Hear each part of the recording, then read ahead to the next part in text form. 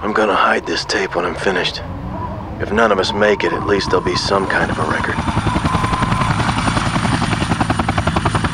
The storm's been hitting us pretty hard now for 48 hours. We still have nothing to go on. One other thing. I think it rips through your clothes when it takes you over. We're all very tired. There's nothing else I can do. Just wait. RJ MacReady, helicopter pilot, U.S. Outpost North 31. Blake, you should have a look at this. What the hell?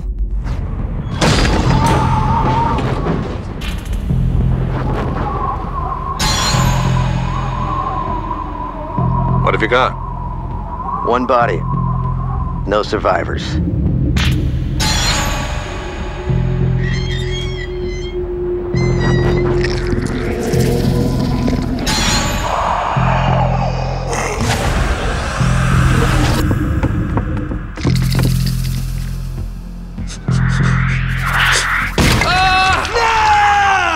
What we're dealing with isn't human.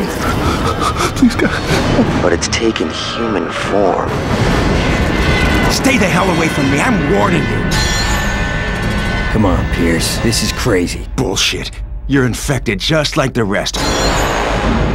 My men are dying out there. I've seen firsthand what this infection is capable of. Oh, you have no idea what it can do. Like my dad always said, if you want a job done right, you gotta do it yourself.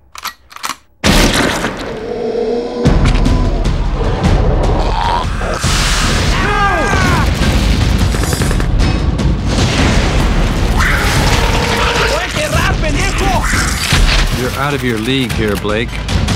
Yeah, take it, bitch! Oh!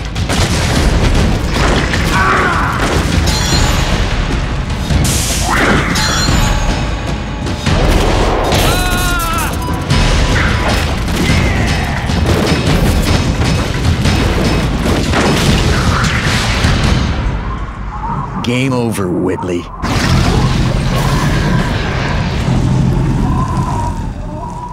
This game is just beginning.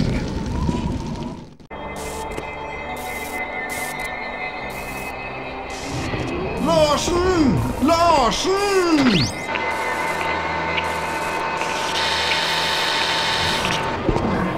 Oh!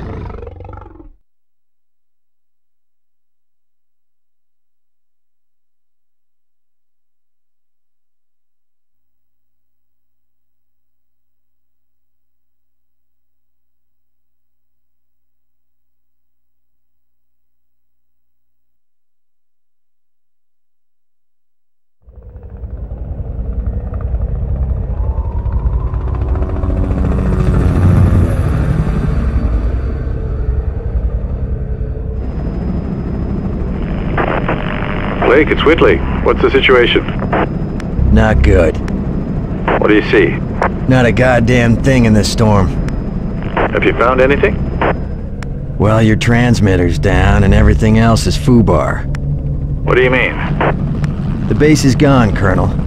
It looks like massive explosives damage.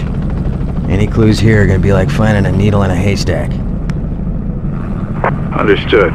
Do a recon, see if you can find anything that'll give us an idea what happened. I can try to get the chopper back to you within an hour, but visibility's falling fast and the report for your area is not very good. Okay. We'll make a sweep and report back. Roger. Meanwhile, I'll check up on Alpha Team. Oh, Blake, just remember it's 40 below out there. We both know exposure could sneak up on you. Keep your team together and get them to shelter as quickly as you can. Roger that. Blake out.